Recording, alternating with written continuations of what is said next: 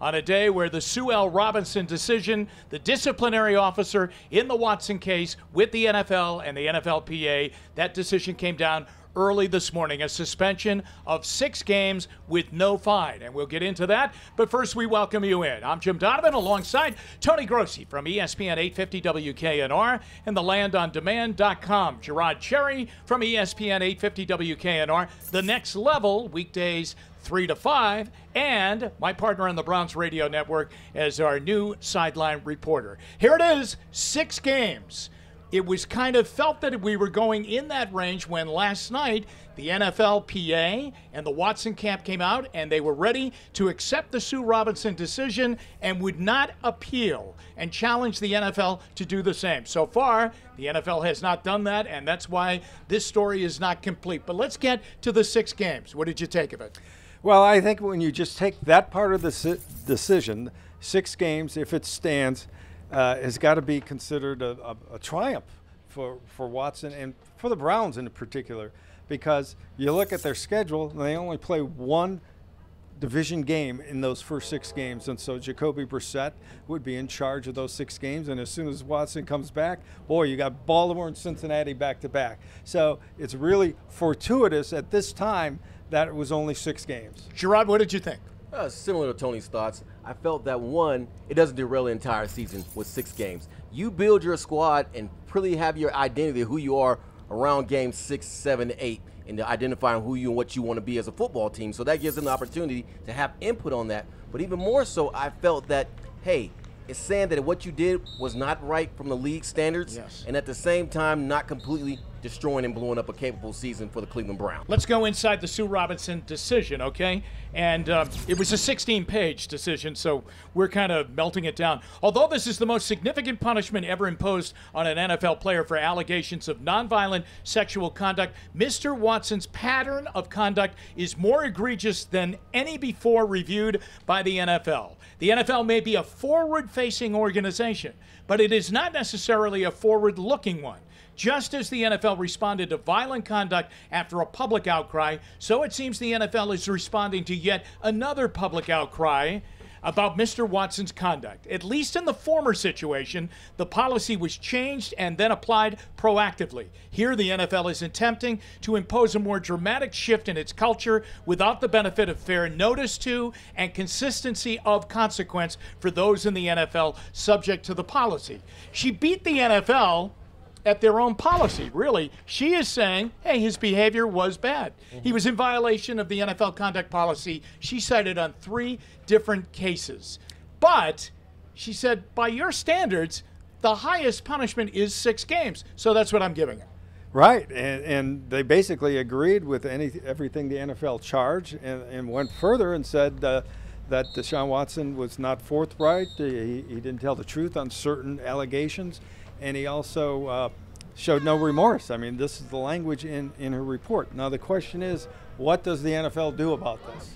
Right, well, if they go ahead and try to do something about it, doesn't that send a bad message to the fact that you collectively bargained for what reason? I think so. Right. Yeah, well, I mean, you could have, if, if you weren't going to go by her decision, why did you have her run a decision by you in the first place? This could have been taken care of in March. Exactly. And then the other part of that is, I think she's also saying, because when she says it, I think she's alluding to the Ray Rice situation. She is. That's exactly and, right. And with that in mind, you're not going to cherry pick, pun intended, this with what you're going to do from using, using social pressure as a way to use jurisdiction on your players. So I think that does help the cause of the NFLPA and players that she's saying essentially, no, you're not just going to pull something out of the air and say we're going to apply it. All right, the NFL did respond, but not with a final ruling in the case. They, in a statement, said, We thank Judge Sue L. Robinson, the independent disciplinary officer, for her review of the voluminous record and attention during a three day hearing that resulted in her finding multiple violations of the NFL personal conduct policy by Deshaun Watson. We appreciate Judge Robinson's diligence and professionalism throughout this process. Pursuant to the collective bargaining agreement, the NFL or the NFLPA, on behalf of Watson, may appeal the decision within three days. In light of her findings, the league is reviewing Judge Robinson's imposition of a six game suspension and will make a determination on next steps. Now, you know Roger Goodell used to have milkshakes with him at uh, league meetings when he was like an assistant to the commissioner. You believe that he wants to get out of this disciplinary type judge jury situation, and that he might just say, all right, we tried to get a year long suspension. She ruled six games. This is the new policy. We're going to go with it. Yeah, that's my, my first reaction is that. Also, uh, again, going into fortuitous timing for the Browns and Watson, we have the Canton Hall of Fame festivities coming on. The deadline for the NFL now to appeal is by Thursday at 9 a.m. What, the game is 9 uh, 8 p.m. Thursday, right? It is, that's the, right. The, the lid lifter to the new season. Uh, G- Commissioner Goodell will be in Canton. Does he want to bring this story into the introduction of the season?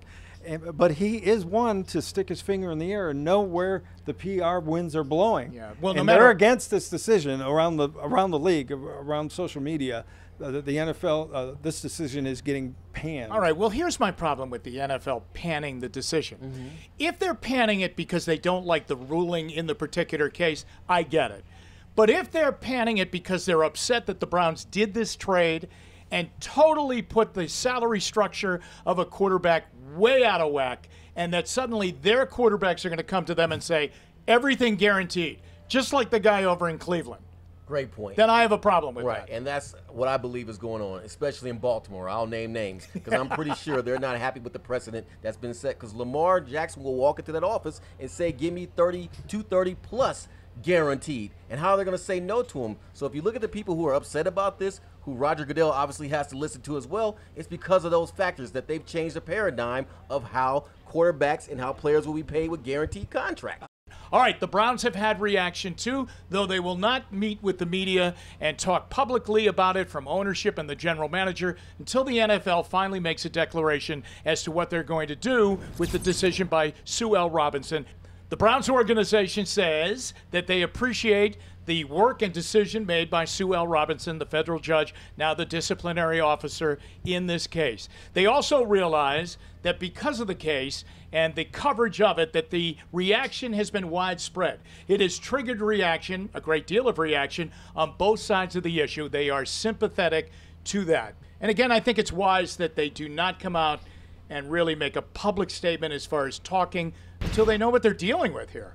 Exactly. I mean, there there could be another shoe to drop. We'll wait and see in the next what 48 hours whether it does.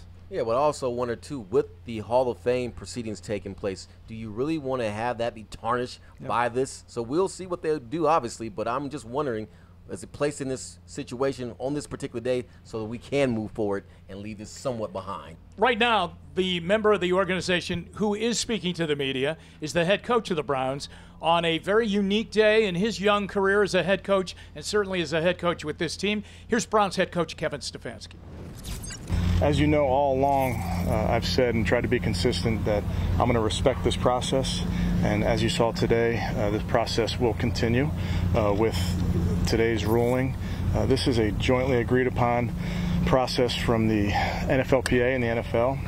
This was collectively bargained, and uh, so I'm going to respect Judge Robinson uh, and, and her opinion uh, right now until more information becomes available to me. So I understand that uh, there's many, many questions. I'll try to answer as many as I can, uh, but I, I also want you to know that it remains a, a process that, that we're certainly respectful of. Head coach Kevin Stefanski on a tricky day, um, but he talked last week about hey, we have a plan for once this ruling comes down. When does that get released, and when do we see it out there on the practice fields, or are we seeing it?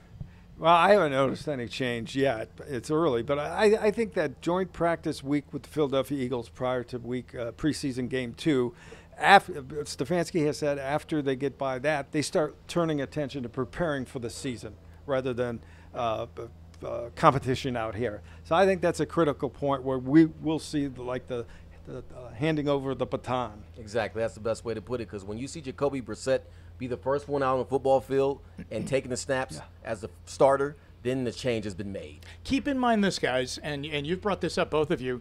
They have an extra long period of time once they play the Bears and then get set for the Carolina game. It's almost two weeks It is that they would get weeks, ready. yeah. You could get him ready during that period of time too.